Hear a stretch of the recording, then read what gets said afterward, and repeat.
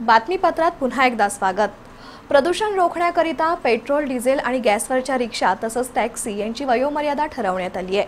त्यानुसार यावर्षी एकतीस मार्चला मुदत संपलेल्या रिक्षा आणि टॅक्सी स्क्रॅप कराव्या लागणार होत्या.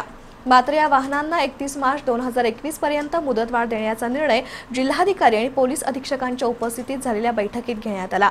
याबाबतची माहिती प्रादेशिक परिवहन अधिकारी डॉक्टर स्टीवन अल्वारिस यांनी दिली. प्रदूषण टाळण्यासाठी वाहनांची वयोमर्यादा ठरवून देण्यात आली आहे.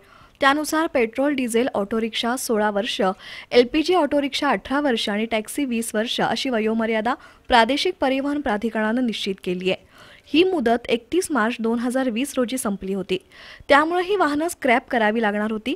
मात्र या वाहनांना एक वर्षाची म्हणजे एकतीस मार्च दोन हजार एकवीस पर्यंत मुदतवाढ देण्याचा निर्णय जिल्हाधिकाऱ्यांच्या अध्यक्षतेखाली आणि पोलीस अधीक्षकांच्या उपस्थितीत झालेल्या प्रादेशिक परिवहन प्राधिकरण समितीच्या बैठकीत घेण्यात आला अशी माहिती प्रादेशिक परिवहन अधिकारी डॉक्टर स्टीवन अल्वारिस यांनी आज दिली.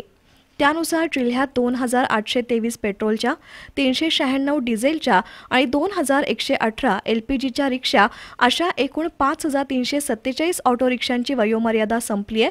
त्याचप्रमाणे तेरा पेट्रोल टॅक्सी एकशे बारा डिझेल टॅक्सी एकसष्ट एल पी जी टॅक्सी अशा एकूण एकशे ऐंशी टॅक्सींची वयोमर्यादा एकतीस मार्चला संपल्यामुळं सर्व वाहनं स्क्रॅप करावी लागणार होती. बऱ्याच ऑटो रिक्षा संघटनांनी याबाबत प्रादेशिक परिवहन प्राधिकरणाकडे मुदत वाढवून मिळण्याबाबत विनंती केली होती. कोरोना पार्श्वभूमीवर ऑटो चालकांवर ओढवलेलं संकट पाहता ऑटो रिक्षा स्क्रॅप करून दुसरं मोठं संकट त्यांच्यावर ओढवणार होतं. मात्र मुदतवाढीच्या निर्णयामुळं ऑटो रिक्षा टॅक्सी चालकांना दिलासा मिळालाय.